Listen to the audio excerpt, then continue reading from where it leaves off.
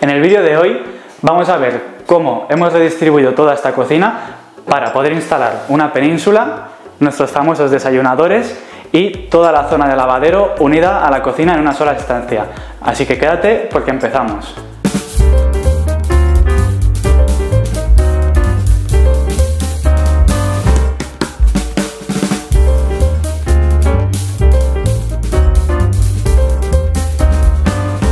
Me llamo Paul Caneda y si has llegado hasta este vídeo muy probablemente sea porque le estés empezando a dar vueltas al posible diseño de tu cocina.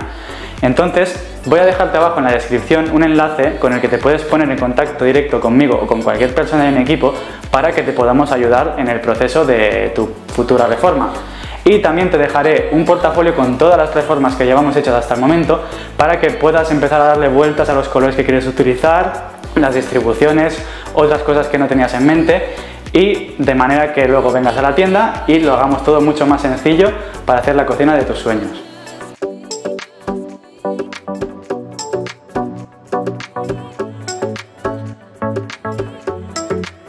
Lo más importante de una reforma siempre son las dimensiones que tenemos en la cocina. En este caso tenemos de largo 3,90, en todo lo ancho 3,80, 2,32 de alto y algo también muy importante que siempre dejamos bastante secundario son las zonas de paso. En, este, en esta zona de aquí tenemos 84 centímetros, lo mínimo que se pide son 80, de modo que cumplimos. Y el paso que tenemos de la península a la zona del desayunador es un metro. Te voy a explicar los materiales que hemos escogido para este proyecto. El color principal es el blanco mate, blanco seda, que en este caso también es antigüella. Eso quiere decir que la primera mano que pasamos nunca se va a ver y las siguientes con un trapo un poco humido se van sin ningún tipo de problema. Es el material más limpio que existe actualmente para las cocinas. También lo hemos combinado con nuestro Arctic Halley, que es la imitación madera, con esta veta que podéis ver tan marcada y que da un toque un poquito rústico. En este caso la hemos hecho vertical, pero también la podemos hacer horizontal si así lo quisierais. Y la hemos combinado también con el Decton Enzo, que es el, material porcelánico que imita el mármol, con estos colores y estas vetas que podéis ver que van perfectamente de la mano con la madera y los materiales escogidos para este proyecto. Y por último, pero no menos importante, el interior de los muebles. La cocina es toda clara por el exterior, pero a nosotros en Cubinado nos gusta mucho hacer contrastes que quedan muy elegantes y en este caso hemos hecho el interior en antracita y los cajones de aluminio de Gravox que cubren toda la altura del mueble de manera que nada se puede escapar por los lados.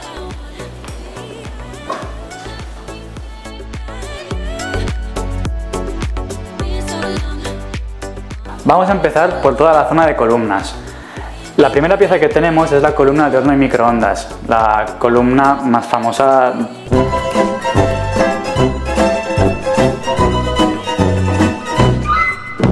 La primera columna que tenemos es la del horno y microondas. En este caso, la columna es de 2 metros 15 más los 10 centímetros de zócalo, un total de 2,25.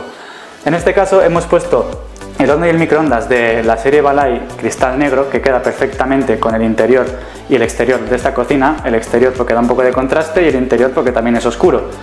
Y algo que no hemos visto hasta el momento es en la parte de abajo hemos puesto los cajones, pero en este caso los hemos puesto vistos. No hemos, hecho no hemos puesto la puerta con los cajones interiores que habéis visto en todos nuestros anteriores vídeos. Que sepáis que también se pueden poner en el exterior sin ningún tipo de problema.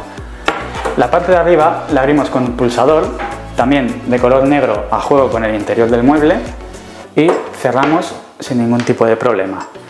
Seguimos, como ya viene siendo costumbre en el canal, también tenemos nuestros famosos desayunadores. En este caso, el mueble, el mueble es de un metro y hemos hecho el cubertero en la parte de arriba, 14 centímetros de alto y el cubertero de madera tintado en color negro para que combine mucho con el interior del mueble.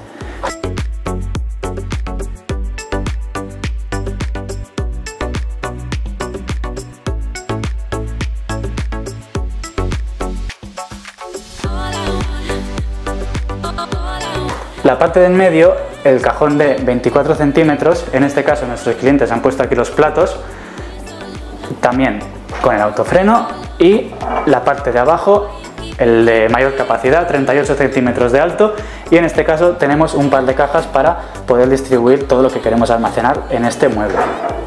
La zona de en medio, el mueble alto, en este caso es de fondo reducido, 35 centímetros, lo hemos hecho con la misma madera que habéis visto en el inicio del vídeo.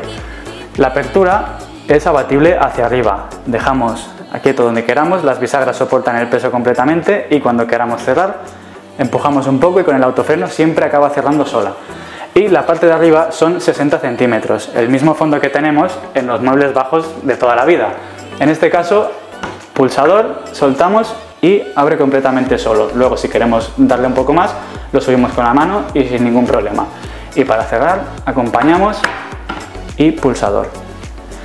Y por último en esta zona de aquí tenemos el frigorífico Bosch de color blanco también a juego con los muebles de la cocina y en la parte de arriba un pequeño altillo para cosas muy de uso secundario, un poquito pequeñito, que también nos sirve para almacenar.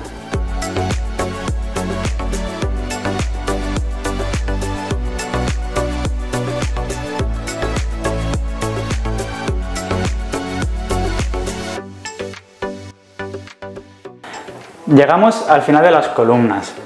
Toda la parte esta de aquí que veis esto, detrás hay un pilar, lo hemos forrado para que siga toda la continuidad en toda la zona de columnas.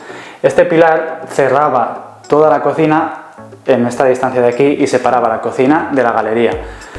Luego, al forrarlo, hemos continuado con esta columna de aquí que es una despensa, 50 centímetros de ancho y con los cajones interiores que siempre os recomiendo en todos los vídeos que siempre que podáis cajones interiores. Es lo más práctico que existe sobre todo para la parte de aquí abajo que es la más complicada de acceder. Extraemos el cajón cogemos lo que queremos o dejamos lo que queremos cerramos con el autofreno y lo tenemos listo. Y por último tenemos la columna de caldera. En este caso tenemos el calentador y también lo podemos aprovechar para escobero porque esta, esta columna nunca viene con trasera porque tiene que salvar todas las instalaciones que tienen que pasar por detrás. Pero luego podemos en todos los lados incluso en la puerta colocar distintos accesorios para todo el tema de escobas, aspiradores y demás. Y algo que es un detallito muy pequeño pero que es de lo más importante en todas las columnas es el tensor. Cuando son piezas muy grandes siempre ponemos un tensor que es una plaquita de metal que va incrustada dentro de la puerta, que lo que hace es que esta puerta nunca vaya a coger ninguna forma extraña, ni a lo largo de los años. Si cogiese un poco de forma, es muy sencillo porque atornillamos de arriba, atornillamos de abajo para apretar y la puerta automáticamente vuelve a su estado de serie.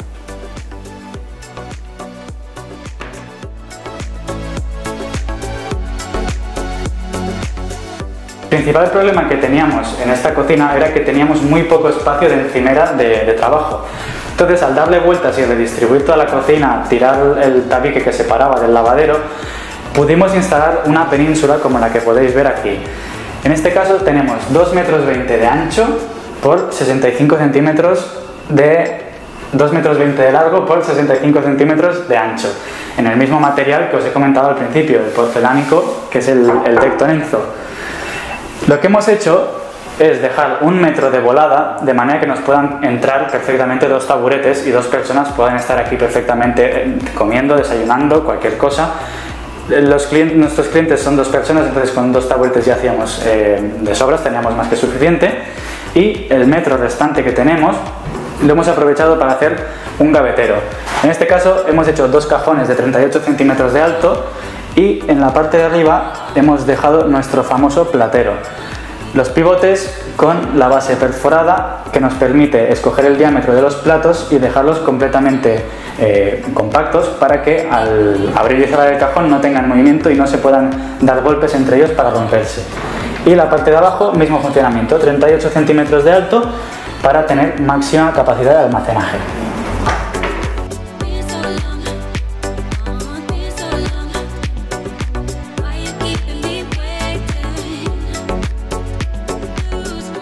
Seguimos con el otro frontal de la cocina. En este caso hemos hecho la pica de silgranit como en todos nuestros vídeos de manera que buscando un color que vaya bien con la encimera, en este caso es el color blanco, como podéis ver se funde perfectamente con la encimera y queda perfecto, mucho mejor que con el acero inoxidable. y en este caso hemos puesto el grifo acompañado de el dispensador de jabón. El dispensador de jabón se rellena desde aquí dentro. Ahora mismo la he liado un poquito, pero no pasa nada. Y en ambas piezas las hemos hecho de acero cepillado. Es un acero, es acero inoxidable mate. No es, es, es mucho más limpio que el cromado de toda la vida que teníamos en los grifos. De manera que los dedos no vais a ver las marcas cuando estéis manipulando, abriendo, cerrando el grifo o cualquier cosa. Luego, en este mismo módulo, tenemos el cajón de arriba, que como siempre os explico, hacemos el cajeo en U para salvar todas las instalaciones que tenemos detrás. Y en la parte de abajo, en este caso, hemos ubicado también los eh, cubos de basura. Este mueble, el módulo, el módulo de la fregadera, lo que hacemos nosotros es todo lo que es el interior del mueble, el casco, las costillas, lo revestimos de tablero marino. Es la madera que utilizan para los barcos. Este mueble es el que está en contacto siempre con el agua, entonces de este modo, revistiéndolo con esta madera, hacemos que sea mucho más duradera la, vida útil de este mueble en el caso de que hubiese alguna fuga de agua o que goteara el, desagüe, cualquier cosa que pudiese pasar ahí dentro. De esta manera nunca se va a hinchar. Y continuamos con el otro lado, la zona de la placa.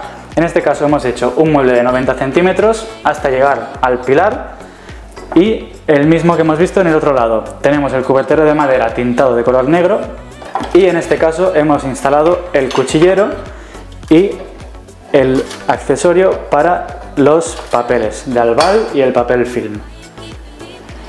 Y como hemos visto en el otro lado tenemos el mueble del cajón de en medio de 24 centímetros, en este caso tenemos aquí las ollas y para terminar el de máxima capacidad 38 centímetros por 90 de ancho.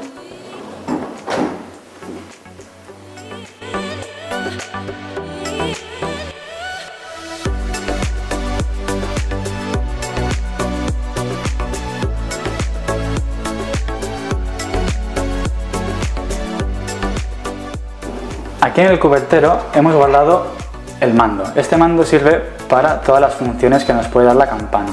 En este caso hemos encendido la luz para tener todo el frontal completamente iluminado y como podéis ver tenemos la campana aquí, la campana es de 90 centímetros de ancho y la tenemos instalada dentro del mueble.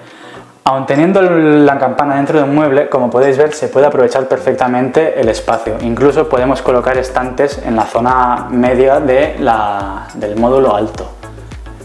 Cerramos con el autofreno y lo tenemos. Continuamos con los demás muebles altos. Tenemos el primero de 60 y el siguiente de 70, con dos puertas. Estos módulos son con estantes regulables en altura. Tenemos los puntos que nos deja marcado el fabricante para nosotros mover el estante en función de lo que queramos ubicar en cada estantería. La parte de arriba normalmente son para cosas bastante más de uso secundario y la parte del primer estante y la propia base del mueble son para cosas de más uso cotidiano incluso de lo que utilizamos más para cocinar o para limpiar.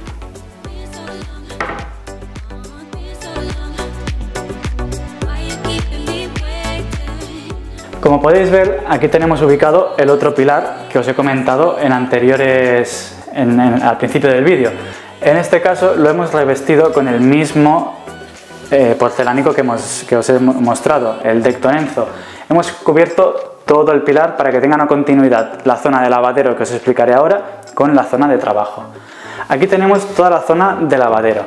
El primer módulo descubre la lavadora. En este caso no es de integración y lo que hemos hecho es ubicarla en un, bastidor que hemos hecho para que quede dentro de un mueble. Y la acompañamos con la tolva para la ropa sucia. Tenemos toda la ropa aquí y únicamente tenemos que irnos al módulo de al lado que es donde tenemos la lavadora. Y para terminar y acabar de darle servicio a toda la zona de la lavandería, tenemos los módulos altos que en este caso están vacíos pero son perfectamente útiles para todos los eh, productos de limpieza o lo que tengamos que utilizar para todo lo que tiene que ver con la limpieza de la ropa y demás.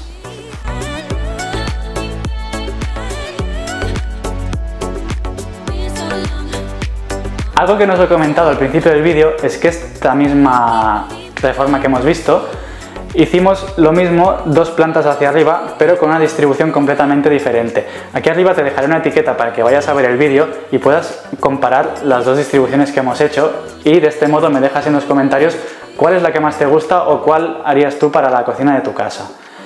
Una vez dicho esto, espero que te haya gustado mucho esta reforma que hemos visto hoy. Te dejaré abajo el enlace para que puedas contactar conmigo o cualquier persona de mi equipo para que te ayudemos en la reforma de tu casa y nos vemos en el próximo vídeo.